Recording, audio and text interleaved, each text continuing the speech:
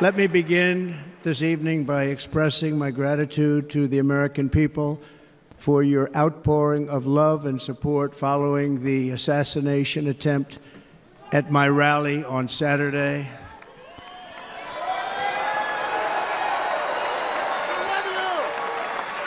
As you already know, the assassin's bullet came within a quarter of an inch of taking my life. So many people have asked me, What happened? Tell us what happened, please. And therefore, I will tell you exactly what happened, and you'll never hear it from me a second time because it's actually too painful to tell. It was a warm, beautiful day in the early evening in Butler Township in the great Commonwealth of Pennsylvania. Music was loudly playing, and the campaign was doing really well. I went to the stage, and the crowd was cheering wildly. Everybody was happy. I began speaking very strongly, powerfully, and happily because I was discussing the great job my administration did on immigration at the southern border. We were very proud of it.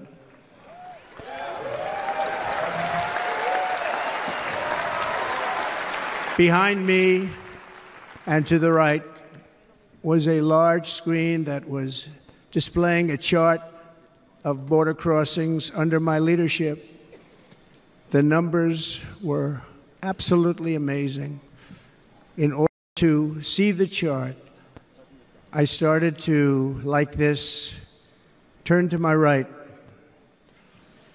and was ready to begin a little bit further turn, which I'm very lucky I didn't do, when I heard a loud whizzing sound and felt something hit me really, really hard on my right ear. I said to myself, wow, what was that? It can only be a bullet. And moved my right hand to my ear, brought it down. My hand was covered with blood, just absolutely blood all over the place. I immediately knew it was very serious, that we were under attack, and in one movement proceeded to drop to the ground. Bullets were continuing to fly as very brave Secret Service agents rushed to the stage, and they really did. They rushed to the stage.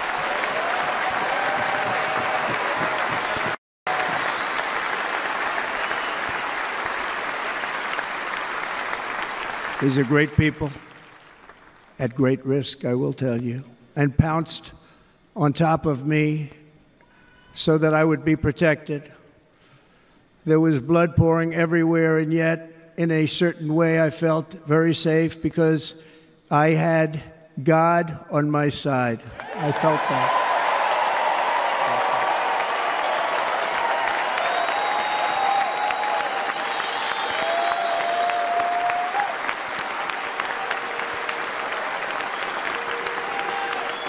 The amazing thing is that prior to the shot, if I had not moved my head at that very last instant, the assassin's bullet would have perfectly hit its mark, and I would not be here tonight. We would not be together. The most incredible aspect of what took place on that terrible evening in the fading sun was actually seen later. In almost all cases, as you probably know, and when even a single bullet is fired, just a single bullet, and we had many bullets that were being fired, crowds run for the exits or stampede, but not in this case. It's very unusual.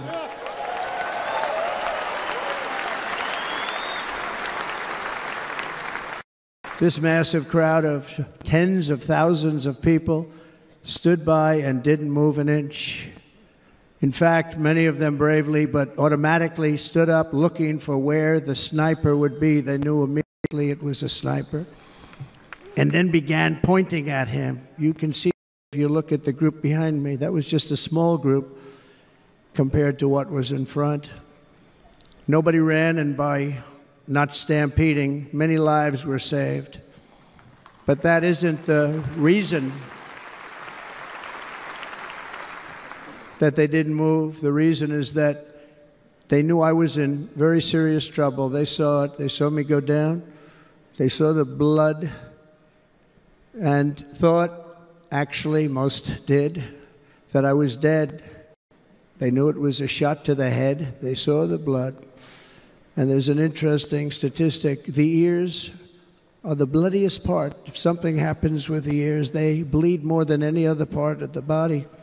For whatever reason, the doctors told me that. I said, Why is there so much blood? He said, It's the ears, they bleed more. We learned something, but they just. they just, this beautiful crowd, they didn't want to leave me. They knew I was in trouble. They didn't want to leave me. And you can see that love written all over their faces. Incredible people. They're incredible people. Bullets were flying over us, yet I felt serene. But now the Secret Service agents were putting themselves in peril. They were in very dangerous territory. Bullets were flying right over them, missing them by a very small amount of inches. And then it all stopped. Our Secret Service sniper, from a much greater distance and with only one bullet used, took the assassin's life, took him out.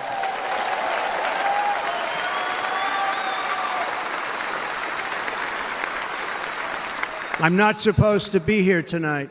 Not supposed to be here. Yeah.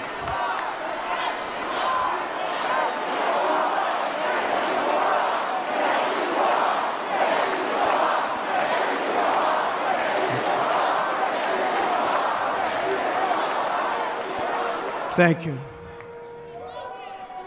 But I'm not. And I'll tell you, I stand before you in this arena only by the grace of Almighty God.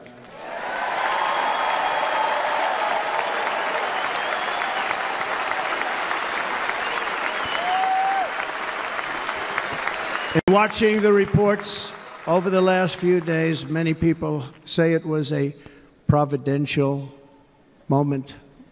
Probably was. When I rose, surrounded by Secret Service, the crowd was confused because they thought I was dead, and there was great, great sorrow. I could see that on their faces as I looked out. They didn't know I was looking out, they thought it was over.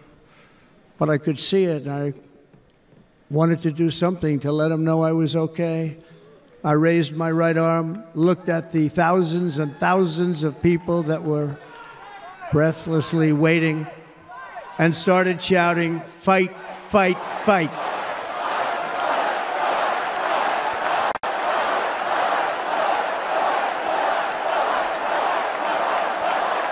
Thank you. Once my clenched fist went up, and it was high into the air. You've all seen that. The crowd realized I was okay and roared with pride for our country like no crowd I have ever heard before. Never heard anything like it. For the rest of my life, I will be grateful for the love shown by that giant audience of patriots that stood bravely on that fateful evening in Pennsylvania. Tragically, the shooter claimed the life of one of our fellow Americans, Corey Comperatore. Unbelievable person, everybody tells me. Unbelievable.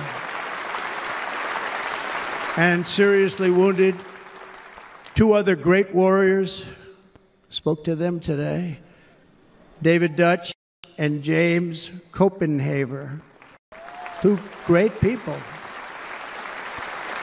I also spoke to all three families of these tremendous people. Our love and prayers are with them, and always will be. We're never going to forget them. They for a great rally. They were serious Trumpsters, I want to tell you. They were serious Trumpsters and still are. But Corey, unfortunately, we have to use the past tense. He was incredible. He, he was a highly respected former fire chief, respected by everybody. Was accompanied by his Helen, incredible woman. I spoke to today, devastated, and two precious daughters. He lost his life selflessly acting as a shield to protect them from flying bullets. He went right over the top of them and was hit. What a fine man he was.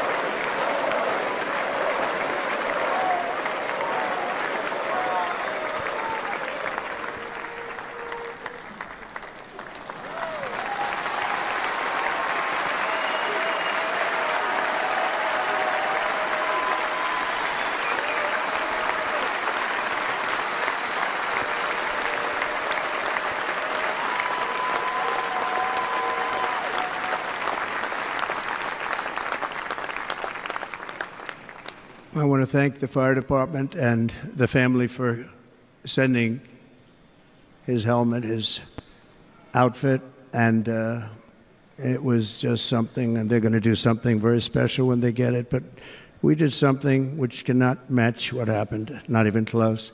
But I am very proud to say that over the past few days, we've raised $6.3 million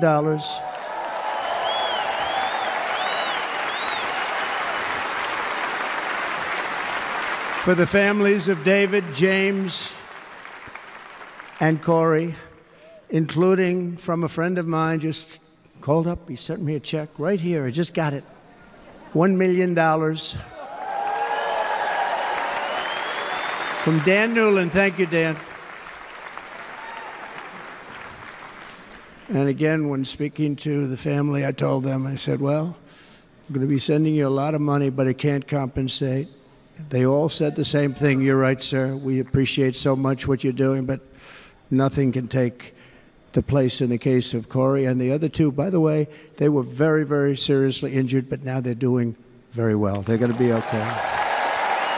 They're going to be doing very well.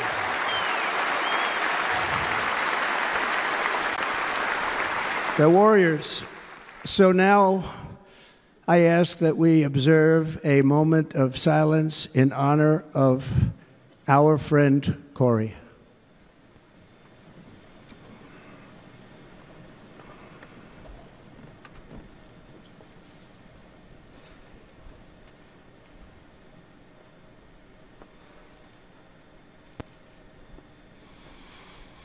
There is no greater love than to lay down one's life for others. This is the spirit that forged America in her darkest hours, and a love that will lead America back to the summit of human achievement and greatness. This is what we need. Despite such a heinous attack, we unite this evening more determined than ever. I am more determined than ever, and so are you. So is everybody in this room.